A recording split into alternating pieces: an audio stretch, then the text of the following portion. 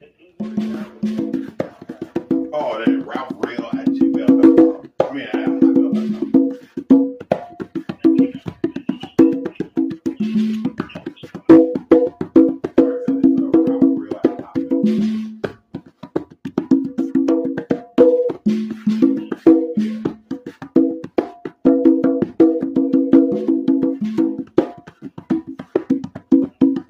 Ralph